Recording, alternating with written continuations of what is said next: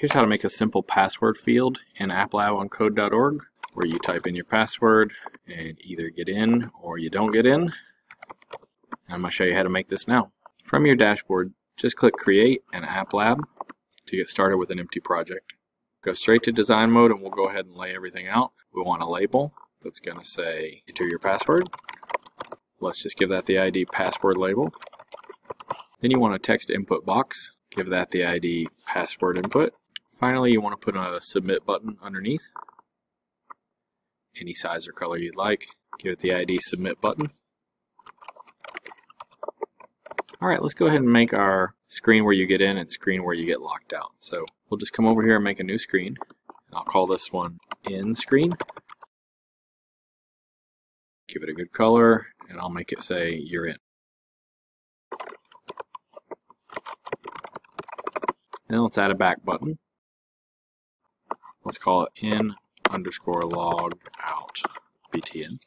So it's the in screens log out button. I'm going to adjust some colors. Click on some empty space and duplicate the screen. This will be our out page. So let's give the screen a uh, out screen. Hmm. Dang it, I'm on the button again. Let's come over here. Screen 3 is going to be out underscore screen.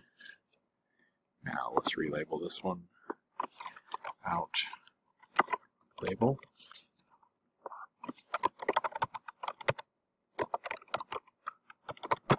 Password incorrect. Let's make this button, instead of saying log out, let's make it say try again.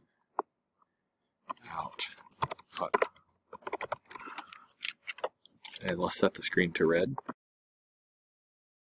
Alright, so we've got our home screen. If they get the password correct, it'll go here. If they get the password wrong, it'll go here. So now we just need to do a little code. Let's switch over to this screen, to the code, and we're going to check whenever that submit button has been clicked.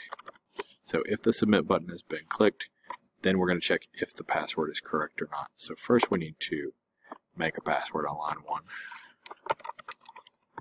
And let's just set it to turtle for now. Now we need to check if they've typed in turtle. So we're going to go get an if, and we're going to math and get an equal so that we can check two things. It's a double equal. We're going to say if what they've submitted is equal to the password.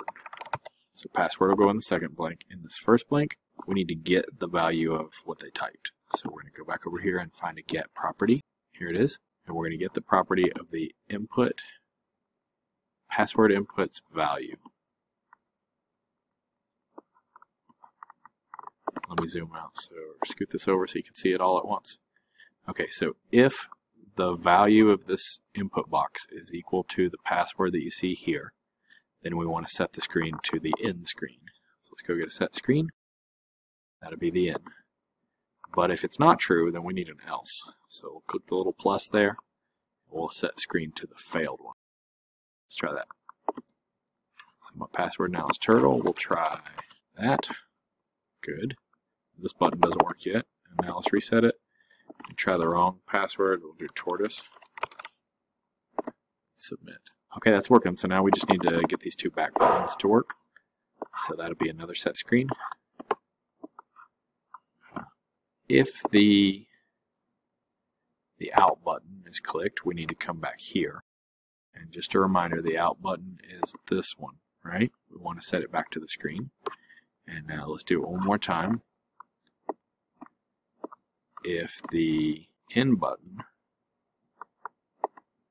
and just to remind you, it's this one we're coding now. If this in button is clicked, we want to set the screen to screen 1, the original home screen as well. Alright, let's try it out. Turtle. Good, and that'll log us back out. Ooh, look, the password's still there. Not very secure. Okay, and that button gets us back, but the guess is still there. So we need to remove the guess as soon as it sets screen right up here. So here's what we'll do. There's one in here called set text. Right here, set text. Let's put one on the if and on the else. And we want to set the input after we click the button, both of them, to just empty quotes. Let's see if that fixes our problem.